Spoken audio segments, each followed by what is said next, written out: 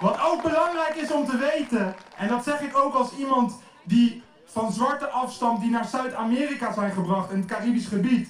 Heel veel mensen weten niet dat van die 10 miljoen Afrikanen, mensen die op boten zijn gezet, het overgrote deel naar Brazilië en Zuid-Amerika ging. En dat daar tot op de dag van vandaag zwarte mensen worden uitgemoord, structureel. Neem Marielle Franco, die opkwam voor zwarte mensen in Rio, trans mensen in Rio, homoseksuele, alles. En ze is vermoord. En onlangs is ook João Pedro vermoord. Een andere Braziliaanse jongens, jongen, een zwarte jongen, die neergefusilleerd is. Niet één kogel, maar tientallen kogels voor een kleine jongen. Die opgroeit in Brazilië, waar zwarte het al honderden jaren hebben. Laten we dat ook niet vergeten. Educate yourself. Oh. Dan wil ik nu, en het begint een beetje te regenen, maar ik hoop dat we de power vast kunnen houden en door kunnen gaan totdat deze manifestatie voorbij is. Want we hebben nog maar een paar sprekers. Nu wil ik Jero aankondigen. Jero is een Nederlander. Dat sowieso. Maar oorspronkelijk komt hij uit Mauritanië. En hij wil jullie graag vertellen over hoe, hoe racisme tegen zwarte mensen ook plaatsvindt op plekken daar waar je het het minst zou verwachten. En daar moeten we ook een oog voor hebben. Daar moeten we ook naar luisteren. Want dat is ook een onderdeel van dit systeem waartegen we strijden. Jero, he's gonna do this in English, by the way. And he speaks French natively, so if you want to, if you want to say something in French, just say it. We'll accept it. This one, go ahead, Jero. Yes.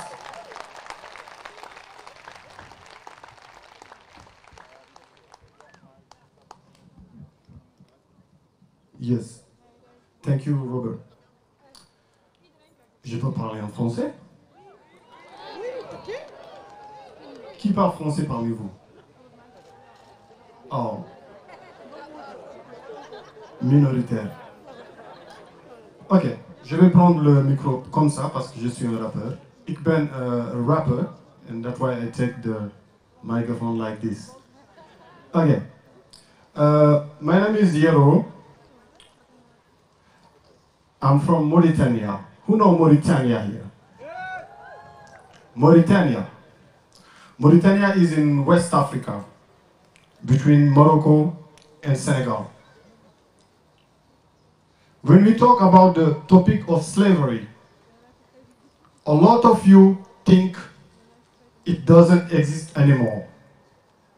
Or you think about modern slavery, work exploitation, or enslaved migrants in Libya. But at this moment, while we are all standing here, more than 433,000 Mauritanians are enslaved by birth.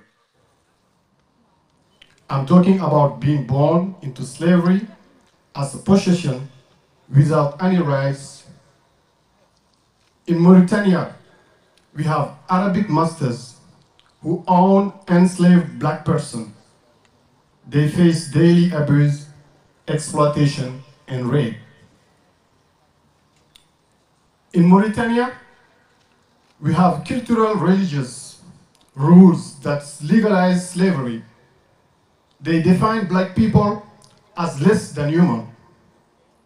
All the people in power are white Arabic persons. However, more than 80% of this country is black. The government gets support from Arabic countries, the European Union, the United Nations, the African states.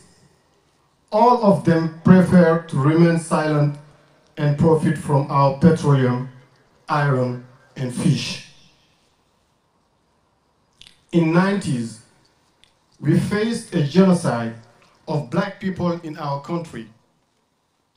Many intellectuals, doctors, diplomats, citizens, soldiers, and activists were killed with the purpose of cleaning the country. Almost more than 120 black Mauritanians were deported to Senegal and Mali just because of the color of the skin. Above all, on the celebration of Independence Day on the 28th of November 1990, they killed 28 black soldiers as a sacrifice. We still don't have justice for these crimes, and the same criminals are still in the government. The day before yesterday, one of these killers even got one of the highest military positions. 24 after the assassination of George Floyd, the Mauritanian army killed a black man. His name is Abbas Diallo. He was 35 years, years old and he left a widow and six children. He was shooting in his chest, just like thousands of other black Mauritanians who got killed by our government. They will not persecuted again, no justice.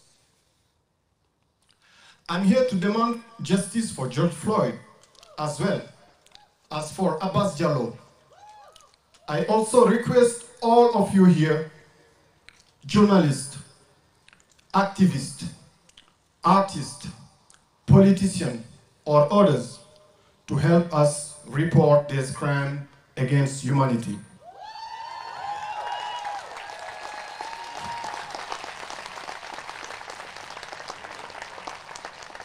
But I also want you to put pressure on your governments to stop looting African resources.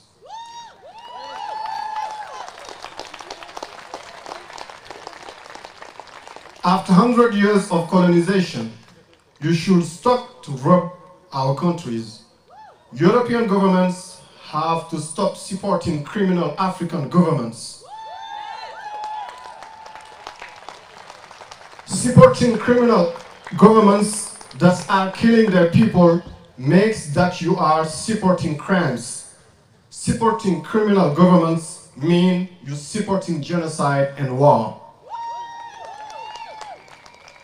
Each one of us here also has his part of responsibility if we don't act. Norbert Zongo, he's a famous journalist killed, he was assassinated, he's from Burkina Faso, he said, the worst is not the wickedness of the wicked people, but the silence of the good people. Thank you. Black lives! Black lives! I want here to talk about Abbas Diallo. When I say justice, you say for Abbas Diallo. Justice! Justice! Justice! Abbas Diallo, George Floyd, Lamine Mangane, and thousands of other Mauritanians killed by the police. Thank you.